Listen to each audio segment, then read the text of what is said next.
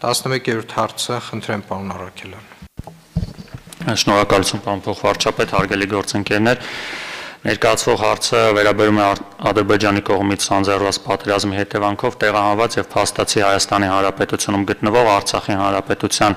քաղաքացիներին աշխատանքային փորձեր բերելու համար ժամանակավոր աջակցության միջոցառմանը մասնապես խոսքը վերաբերվում է Արցախի այն քաղաքացիներին, ովքեր փաստացի բնակվել են այս պահին Արցախի վերահսկողությունից դուրս գտնվող տարածքներում եւ իրենց բնակությունը ժամանակավորապես իրական տեղի ունենում Հայաստանի Հանրապետությունում։ Առաջարկվող ծրագիրը ենթադրում է ժամանակավոր աջակցություն աշխատանքի բնագավառում մասնավորապես միջոցառումը ենթադրում է միջև 3 ամիս ժամկետով գործազուրկ անձանց հնարավորություն տալ գործատուների մոտ անցնել որոշակի աշխատանք, այսպես կոչված պրակտիկայի, որի դիմաց այդ քաղաքացիները կվարձատրվեն 100.000 դրամի չափով առանց հարկերի, այսինքն մաքուր, միևնույն ժամանակ նաև գործատուի մոտ աշխատանքային փորձի ձեռբերման գործընթացը կազմակերպող անձին կտրամադրվի աջակցություն 34000 դրամի չափով միջոցառման շահառուները կարող են դիմել այս աջակցության ծրագիրը եւ կարգը հաստատելուց հետո մեր զբաղվածության գործակալություններ մենք նմանատիպ միջոցառում ունենք զբաղվածության մեր ծրագրերի շրջանակներում այս միջոցառումը այդ միջոցառում այդ ծրագրի հիման վրա որոշակի բարձեցվել է որը հնարավորություն կտա այս կարճաժամկետ հատվածում որ Արցախի մեր հայրենակիցները գտնվում են Հայաստանի Հանրապետությունում որոշակի նաև աշխատանքի դիմաց վարձատրություն ստացել, ուզում եմ շեշտել, որ նմանատիպ նաև հաջորդ հարցը այս ծրագրերը իրենց բնույթով կարճաժամկետ են, այսինքն չեն խրախուսում աշխատանքը, քանի որ նաև իմ Արցախ կատարած այցի շրջանակներում մեր գործընկերների հետ քննարկել ենք եւ առաջիկայում Արցախում են նախատեսված ավելի երկարաժամկետ աշխատանքի խրախուսման միջոցառումներ, որը հնարավորություն կտա Արցախի քաղաքացիներին ապահովել կայուն եկամուտով։ Շնորհակալ եմ։ Շնորհակալություն, պարոն Արաքելյան։ Հարցեր Հարցեր չկան, հարցը տրվում է քվեարկության, ովքեր են դեմ 11-րդ հարցի ընդունմանը։ Դեմ չկա, նախագիծն ընդունված է։ 12-րդ հարց, պարոն Արաքելյան, խնդրեմ։ Շնորհակալություն։ Այս միջոցառումը նույնպես ենթադրում է ժամանակավոր աշխատանքով ապահովելու միջոցառում, մասնավորապես միջև 3 ամսով հասարակական աշխատանքի կազմակերպման վարձատրության միջոցառում է։ Նմանատիպ ծրագիր ունենք որը իրականացվում է համայնքների հետ, մասնավորապես համայնքներում տեղի ունեցող փոքր աշխատանքները, որոնք չեն գերազանցում միջև 2 միլիոն դրամը, համագործակցում է նախարարությունը համայնքների հետ։ Նման միջոցառումներում ներգրավում են հիմնականում գյուղաբնակ համայնքների բնակիչները, որոնք վարձատրվում են նման օժանդակ աշխատանքներ կատարելու համար մեկ աշխատանքային օրվա համար 8000 դրամի չափով այս միջոցառման շահառուները նույնպես համաձայն ծրագրի հանդիսանալու են նախորդ հարցում ներկայացված շահառուները Արցախյան քաղաքացիները, ովքեր ժամանակավոր բնակվում են Հայաստանի Հանրապետությունում։ Շնորհակալություն, պարոն Արաքելյան։ Հարցեր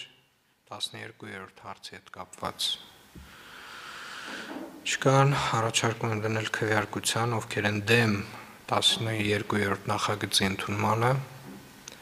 Դեմ չկա, նախագիծն ընդունված է։ 50-րդ հարցը, պարոն Արաքելյան։ Շնորհակալություն։ Հարցը վերաբերում է պատերազմի հետևանքով վնասված ստացած զինծառայողների աջակցության միջոցառումը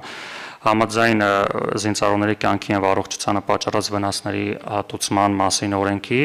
հիմնադրամի կողմից հաշմանդամության խումբ եւ նաեւ զինվորական պատճառական կապ ստացած քաղաքացիները հիմնադրամի կողմից համաձայն օրենքով սահմանված չափի եւ ժամկետների ստանում են աջակցություն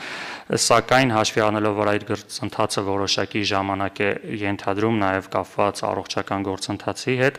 առաջարկվող միջոցառումը ենթադրում է, որ որոշ հիվանդությունների գծով, որոշ վնասվածքների գծով, որ ակնհայտ է, որ այդ քաղաքացիները առաջիկայում ստանալու են հաշվանդամության խումբ, միջև հաշվանդամության խմբի ստացումը դրանք հնարավորություն են ունենում հիմնադրամի կողմից ստանալ աջակցություն առավելագույնը 6 ամիս ժամկետով։ Այս պահին հիմնադրամը նման գործառույթ ունի, յուրաքանչյուր ամիս իրականացնում է աջակցության տրամադրում 100.000 դրամի չափով, համաձայն միջոցառման առաջարկվում է այդ գումարը ավելացնել եւս 200.000 դրամով պետբյուջեի միջոցներով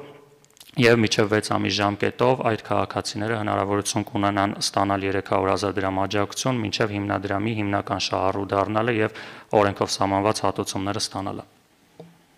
Շնորհակալություն պարոն Արաքելյան։ Սա նշանակում է, որ հիմնադրամի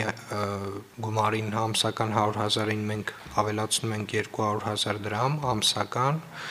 ինչև վերջնական կարգավիճակի ճշգրտումը։